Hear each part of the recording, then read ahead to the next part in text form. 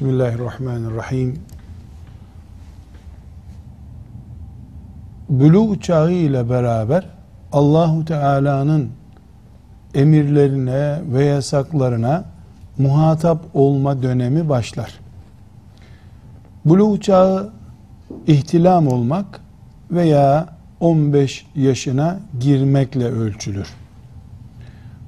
Buluğ çağından sonra Müslüman bir genç 15 yaşında veya 75 yaşında ihtiyar bir Müslüman Allah'ın emirleri ve yasakları açısından aynı durumdadırlar.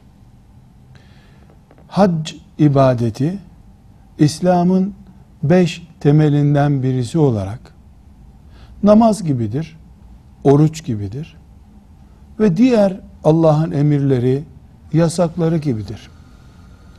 Nasıl bir Müslüman 15 yaşından sonra veya buluğ çağından sonra Ramazan-ı Şerif gününde oruca muhatapsa, ezan vaktinde namaza muhatapsa, şartları oluştuğunda hacca da muhataptır.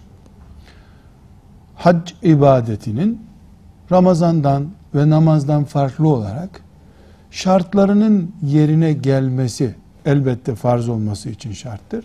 Bu şartlar nedir? Müslümanın sıhhat olarak ve ekonomik güç olarak hacca gidip gelmeye muktedir olmasıdır. Şart budur.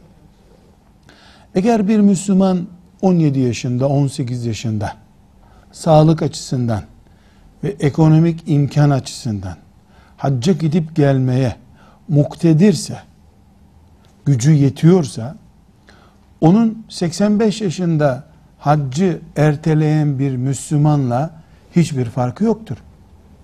İnsanların hac ibadetini ihtiyarlara ait gibi görmeleri batıl bir anlayıştır. Hatta eğer hac yüzde yüz anadan doğmuş gibi Müslümanı tertemiz yapıyorsa ki böyledir. Bu kadar cennet teminatlı bir ibadet için ileri yaşları beklemek yanlıştır. Ecelin bir garantisi yok. Genç yaşlarında insanlar hac etmelidirler ve genç yaşlarında Allah'tan mağfiret umudu taşıyarak ölmeye hazır olmalıdırlar. Haccın yaşı yok farz olması var. Farz ne zaman oluyor hac? Buluğ çağından sonra sağlık ve ekonomik açısından şartları yerine geldiğinde farz oluyor. Peki insanlar neden emekli olmayı bekliyorlar hac için? Belki biz bunu iyi bir yorum yaparak deriz ki yani iyiye yorarak deriz ki emeklilik parasını haccı kullanmak istiyorlardır. Daha önce toplu imkan bulamıyorlardır.